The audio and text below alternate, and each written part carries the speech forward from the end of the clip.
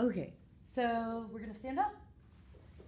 And can we push the chairs back as far as it will go? And you're going to just walk around and fill the space.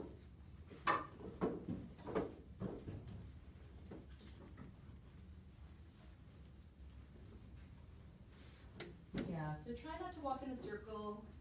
If you see that there's a concentration of people in one part of the room, fix it by going to where there aren't people. Yeah, you want to be kind of evenly distributed like air molecules. Nice. And I'm going to give you some prompts, and silently, you're just going to follow the prompts. So you're going to let your left hand lead your body. So, yep. Wherever you go, your left hand goes first. If you turn a corner, your left hand is the first thing that turns. The rest of your body follows your left hand. Mhm. You can play with levels. Does your hand want to take you down? Does your hand want to take you up into the air? You can play with speeds. Does your left hand want to go really fast? Is it turning you around? Does it make you want to go really slow? And you can relax and walk like you, just normal. Yeah, nice. Okay. And now your right hip is leading your body. So wherever your body goes, your right hip goes first. Mhm.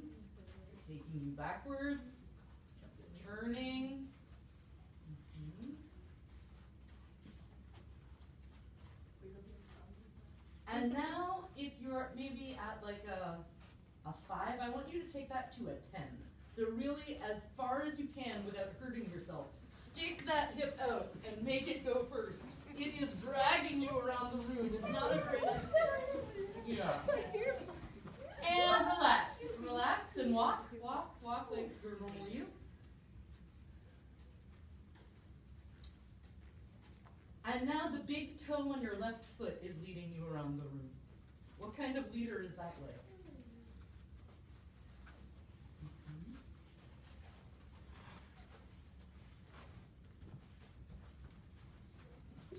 And you go back to neutral. Now it's your belly button.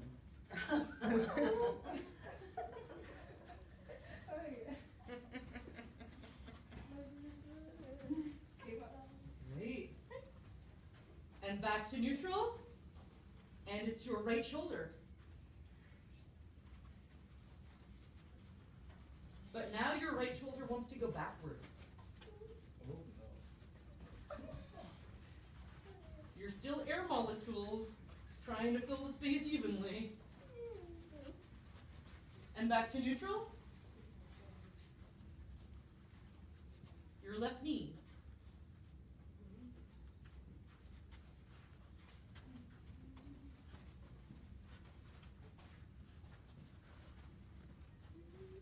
Your left knee wants to go backwards. How does it do it? Exactly. Yeah. Lead you backwards? And back to neutral. It's your nose. And if you're at a five right now, bring it up to a ten. Your nose is way out in front of you. It's in front of your eyebrows. It's in front of your chin.